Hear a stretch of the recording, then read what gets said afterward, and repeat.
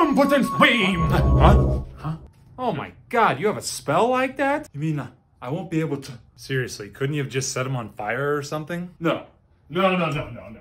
You guys, relax, relax. It's just my flashlight spell, and I just yell impotence beam. Look, impotence beam.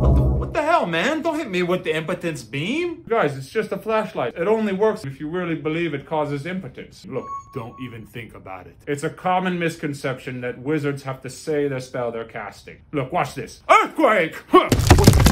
Whoa. See, look, I said earthquake, but that was a spell that summoned butterflies. What?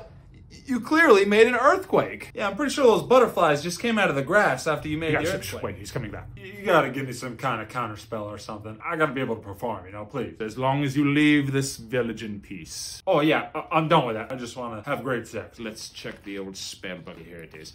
Virility beam!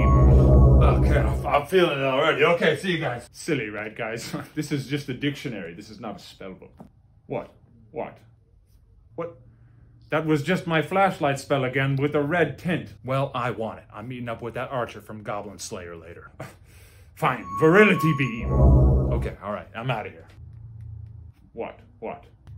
Well, I mean, if you're handing out virility beams, You you want it too? yeah, I mean, there's this girl at the tavern that I. Virility beam.